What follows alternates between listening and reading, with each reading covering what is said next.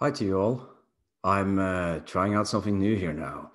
This uh, new playlist on my channel called uh, Lecture Series. Because you see, I'm uh, quite often traveling around holding talks and lectures about history and other stuff.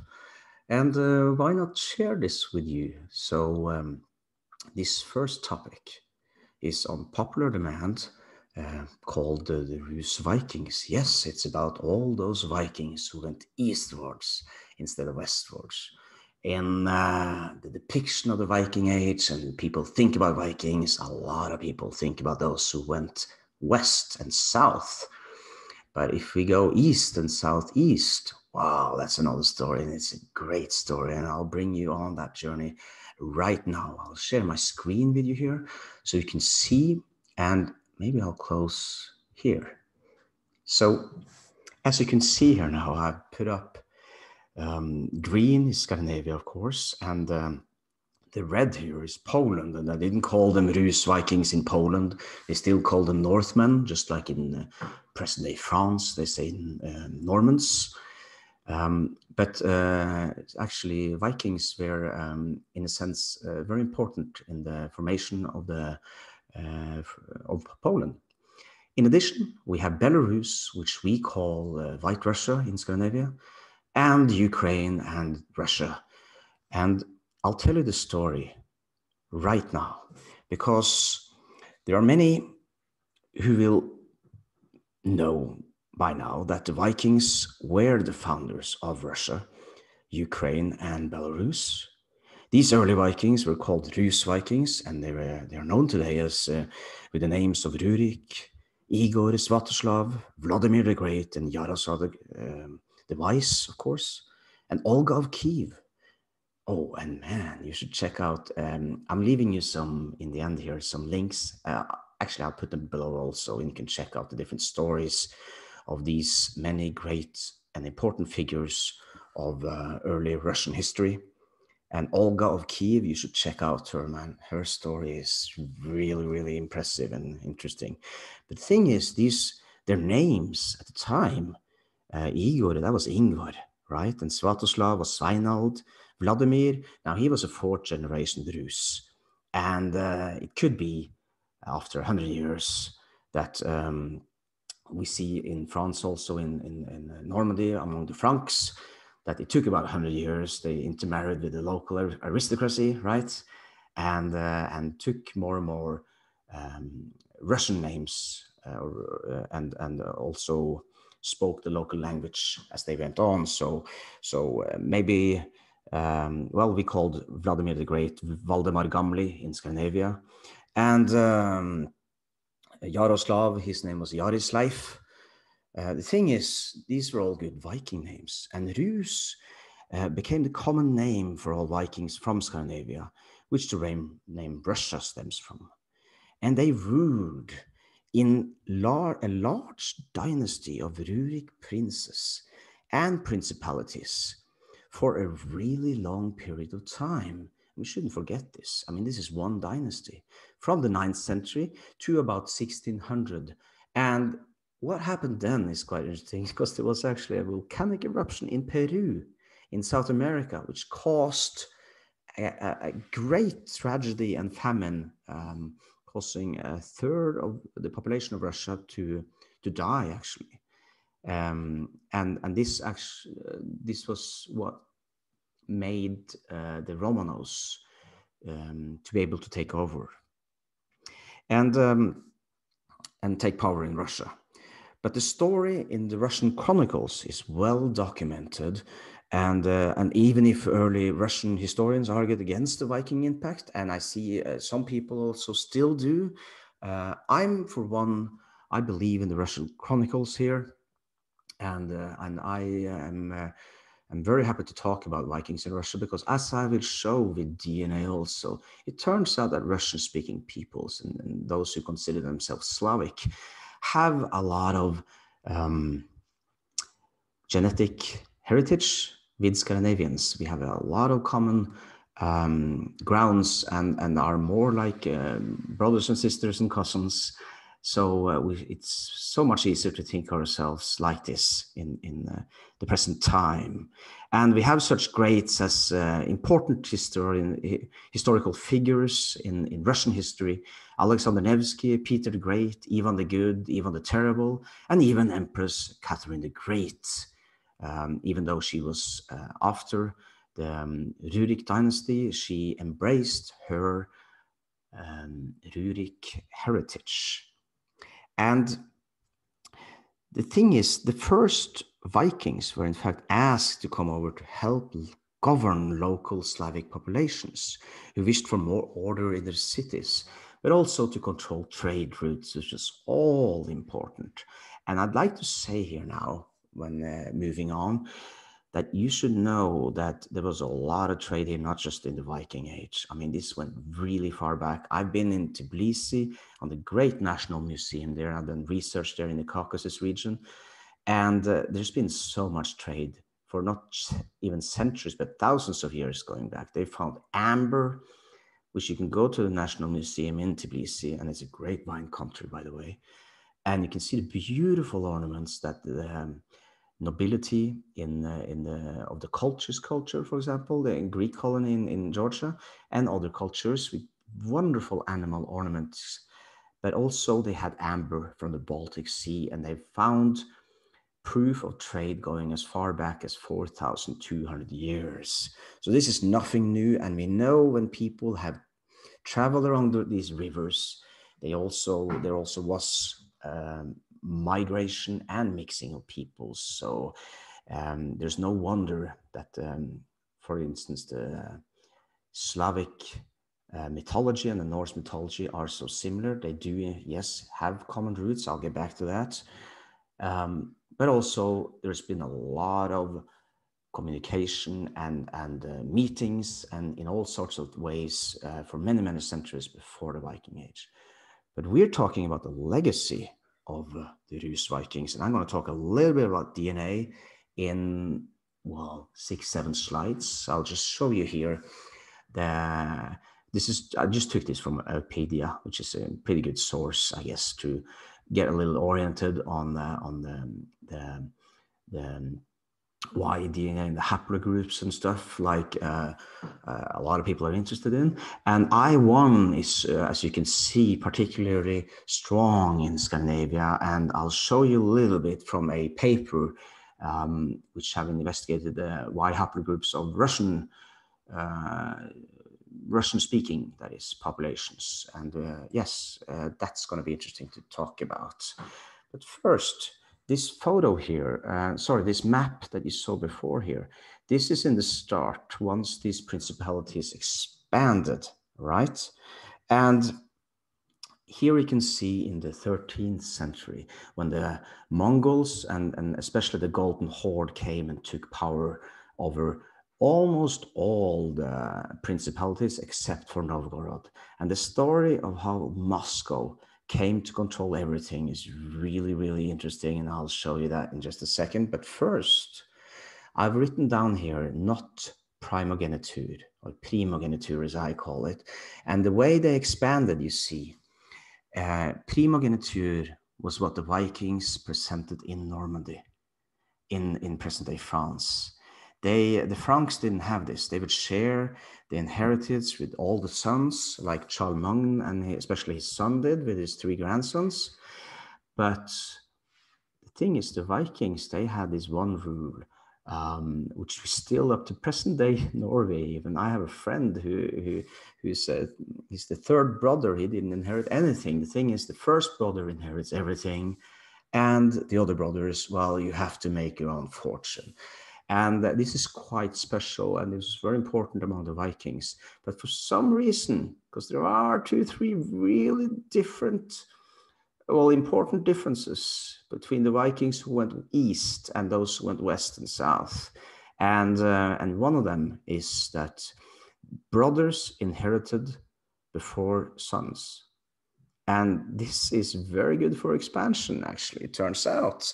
Um, though there's a lot of competition, and and of course the big um, they had a lot of fierce battles among themselves.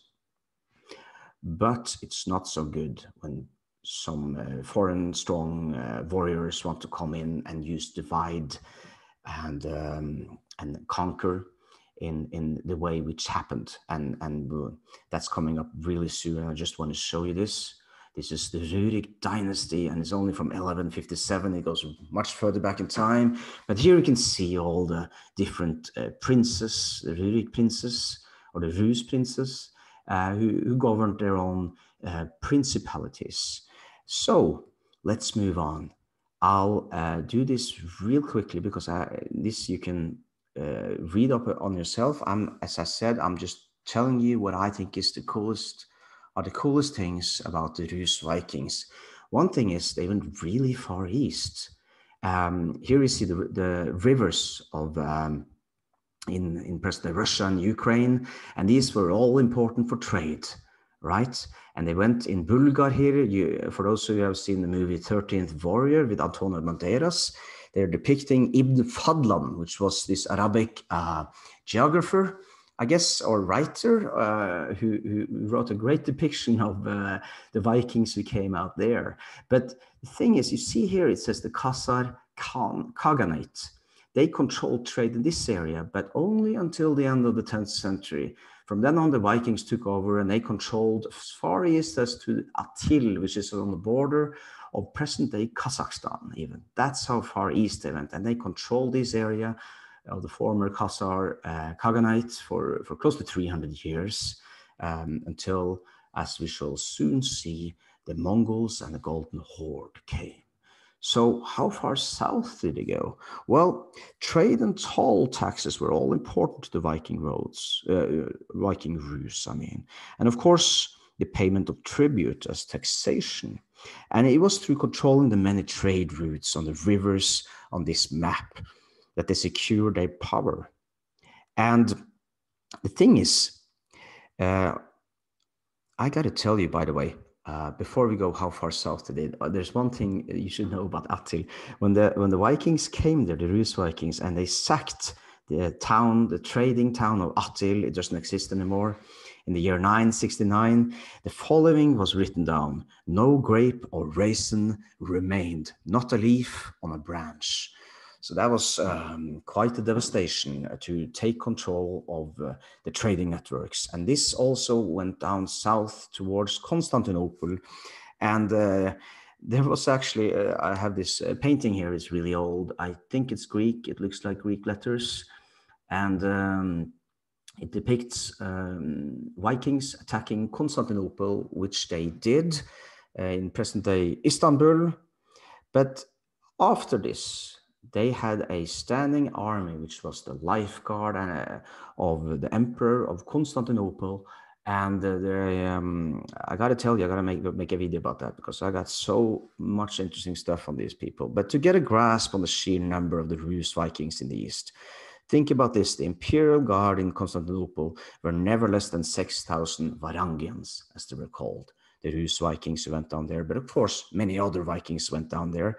The Varangian meant sworn companion, which eventually became the name of all Vikings from Norse areas coming to Constantinople up until the year 1066, when Anglo Saxons started mixing in, actually. And um, even several Norwegian kings were in the Varangian Guard, which obviously was the place to be if you wanted to become skilled in warfare and rich at the same time. And these Varangians had many adventures, including helping the Normans ousting the Muslims from Sicily, and um, which there are several quite interesting depictions of in the old sagas. Um, and they also held the Varangians, I'll, I'll tell you that, a, an um, exceptionally high standard of ethics compared to at the time. Because according to Byzantine sources, once when a Varangian tried to rape a woman in Constantinople, and she managed actually to kill him with his own sword, his Varangian compatriots, they showed up the next day at the woman's house to offer her the dead man's belongings as retribu retribution, because this was not the proper way of a Varangian soldier, and that's a pretty cool story. But they did go really far south, and they and and you got to keep in mind trade was really really important to this. Um, just so you know that, and as I said, there are many interesting um, personalities, historical figures here. I'd like to talk a little bit about Vladimir the Great because he was not only, as I write here, the Prince of Novgorod and the Grand Prince of Kiev and the ruler of the Kievan Rus, but he was also responsible for choosing the Orthodox Christianity and not the Catholic Christianity, which we chose about the same time, in 988, is that in Scandinavia. And imagine that, you know, making that choice, uh, if you look into the history, it's quite logical in a sense, but that's a separation between uh, Russia and the West for in, in so many ways, just like the Cyrillic script, which came about the same time because of the expansion expansion of the church. And mind you, Vladimir the Great, he is quite interesting because uh, when he was the great Prince Vladimir in 980, that's eight years before accepting Christianity, he wanted to unify the various beliefs and, and um, in the Slavic religion to bind together everyone and and um, make everything more centralized, I guess. Uh, I'll put up a photo here. This is after 988, um, a depiction of, of course. The thing is, he did this because of the deities that the Slavic mythology has, uh, or had, or has, depends on how you look at it. And um, and they had uh, five deities, which he actually erected a temple on a hill or on several hills in the capital of Kiev. And, and the deities uh, were, among others, Perun, which uh, is the same as, um, as the Germanic and Norse god Thor, and also the Vedic Indra, by the way. He was the god of thunder, law, and war. And, uh, and some of the other gods, um, like um, uh, and Dazhbog and, and, and Stribog, they were actually um, had their roots in the Scythian and Sarmatian um, roots uh, in a sense, but they turned up also in the in the Iranian uh, mythology. So so uh, there was a lot of similarities for the Vikings who came in as Rus Vikings, and, and there were a lot of them. And when they met with Slavic peoples and, and saw their um, ancient beliefs, they, this was very similar. And uh, the way Vladimir has been remembered uh, is very interesting. This is a, a note from uh, Ukraine in, in 2006, I think this came. And, and this is obviously a, uh, an important and vital person uh, to know about. And I recommend you uh, check out more about his history. And he's also a little bit um, interesting, I guess, in the rise of Moscow because, and, and this is actually a photo, um, an old photo, but it depicts the Kremlin many, many centuries ago uh, in the 15th century, I believe it was. Uh, so it's a depiction of how it might have looked, I guess. And, and the thing is, it's kind of weird. Uh, Moscow was a really small uh, city, not important at all. It belonged to the Grand Duchy of Vladimir in uh, 1157 for uh, close to 200 years, but then everything changed. And the way the Muscovites took power, and these are the Rurik princes who settled in Moscow, right? Um, it's just a really amazing story. They were vassals of the Golden Horde for a long time, but the way they were vassals and the way the Golden Horde wanted to use divide and conquer, especially towards the Novgorods, who they didn't conquer, uh, wow, that's an interesting story. I got to tell you. Uh, well, let me show you, because here you can see the Kievan Rus in the 11th century, and, and the different maps here shows some of the different uh, principalities, right? And down here in Rostov um, is, is present day uh, Moscow about.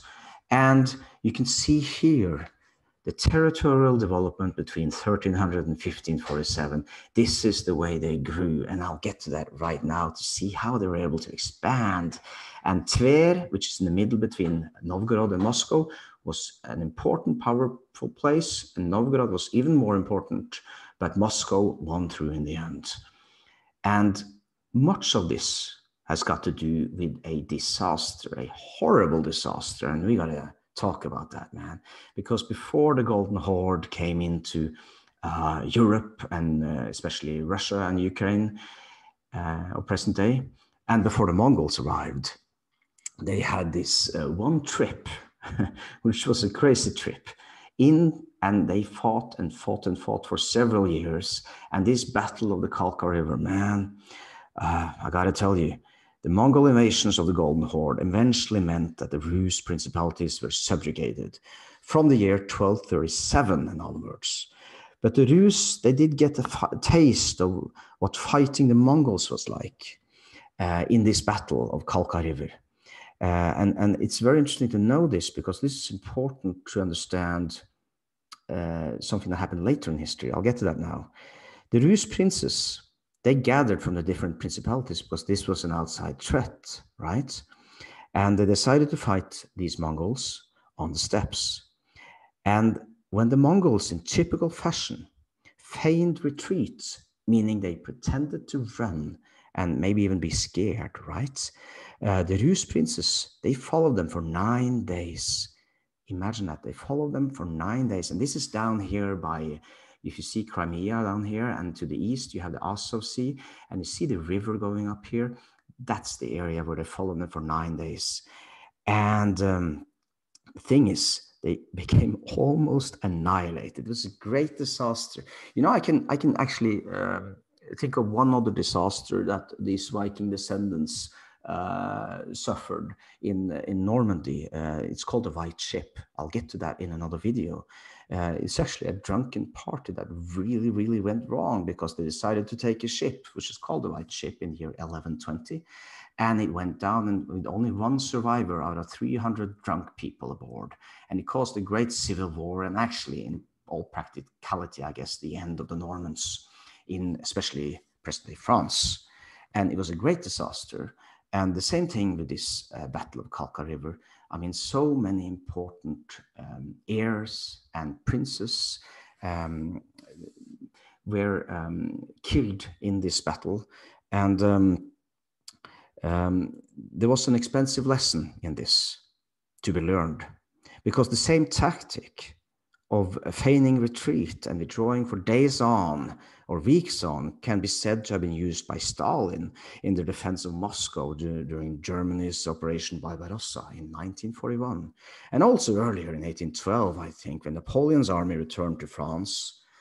And imagine he returned to France with only 20,000, 27,000 men with an army that was originally 700,000 men a few months earlier when attacking Moscow and even conquering Moscow. Um, the same tactic was used, and as you may know, Stalin was a very literate man and he cared very much about history. And I'm absolutely sure they knew very well about this battle of the Kalka River in 1223. And here you can see how this first expedition out from um, East uh, Asia, I guess, not even Central Asia, came about, and and how they returned. Um, and and in this battle, oh, uh, just put up a photo here. You can see um, there was only one uh, important prince who was called the Brave after this, who um, um, escaped actually, and uh, that's something um, you can read about him also when you read about the river. But this was eventually what made uh, the real Mongol invention of uh, the Ögedei, the, um, the son of uh, Genghis Khan in 1236, and how they went fiercely in and conquered so much as you can see here in the photo. So let's get to the DNA. Is that okay now? I'm almost on the last slide. And um, my question is, so how much of Scandinavian DNA is there in Russia and Belarus and the Ukraine? And I'd like to first point out the linguistics side. As you can see here, this is just taken from Wikipedia, but it's it's it's fairly precise, I'd say. The appro approximate extent of all Norse and related languages in the early nine, uh, sorry, 10th century. And you can see here on the different places where the rivers were and where they had trade that were, um, were important places. And, and check out the blue down here on Crimean Gothic. I've actually been there and done research, and uh, that's coming in another video. Well, uh, I'm just going to present a uh, indication as an answer to this, and I'm going to use a rather old 2008 study where they gathered DNA and looked only on haplogroups, uh, Y DNA, uh, meaning men and their uh, sons and so on. And uh, I'll get to that uh, right now because um, what is interesting to get an indication of how much Scandinavian DNA, we can look at the I1A haplogroup. And this is a Y haplogroup, and I'll do a video also. I haven't done that yet actually on DNA. I should do that. Um, but uh, this is very prevalent in, uh, in Scandinavia, as you saw in the map uh, before. And here we can check out 12%, 11% where you have three and four. Three is up here a little bit north, and 11% there, and six and eight down here in Livni. Um, this is very, very interesting. I mean, I mean, this is a lot in, in specific areas here. And as they write in the paper, um, they say, of course, uh, as we all know who are a little bit familiar with this, Scandinavia is enriched with I1A, that's the Y haplogroup. And intriguingly, um, here you can read for yourself, but in the end here, um, it talks about what I just pointed out here. This spread pattern overlaps with ancient routes from Scandinavia to the Volga Basin. So that's a pretty strong indication that there are a lot of uh, there's a lot of uh, common heritage and and mutual DNA, we can say, I guess, between Scandinavians and Russian-speaking peoples in in Russia, Belarus, and the Ukraine. So um, this is basically what I wanted to show you because this is what I think is cool about the Rus Viking. But there's a about the Rus Vikings, but there's a lot more. So if you want to talk about more, we can do that below in the comments field.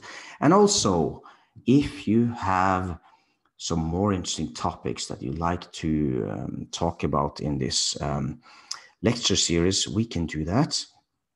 I just like I would like to finish off by saying um, there are many heroes of old Russia, still held dear by many who were in fact of Viking descent because of this Rurik dynasty. I talked about Alexander Nevsky, um, but the legacy of these Rus Vikings, choosing both the East Orthodox Church instead of the Catholic one and the Cyrillic alphabet or script as the Russian norm. I mean, these early paths chosen by these Viking descendants and their, well, it would seal the future of many Russians and, and their like forever after. And not to forget, mind you, even the Terribles resettling of the Novgorod noble families. I told you Novgorod was a stronghold, right? So they did this first deportations that we've seen so much of in the, in the past 100 years.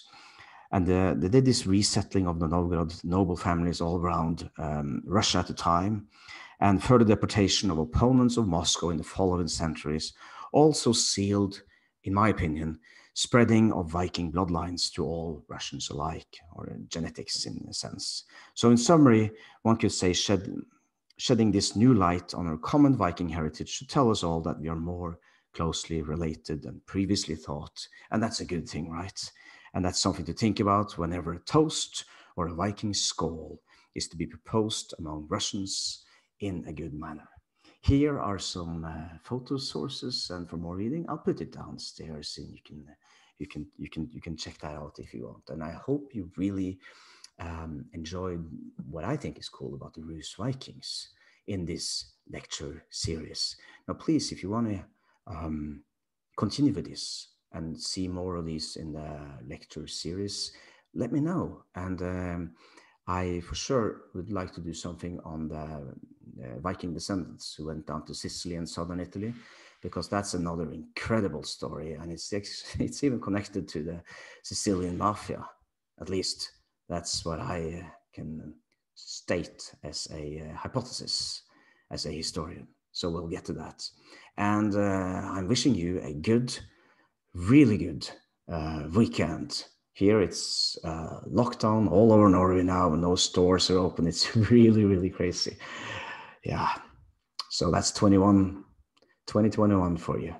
It's turning out to be just like 2020, or maybe even worse. I don't know. You tell me. Take care, and uh, I'm wishing you a great, great weekend. Thanks.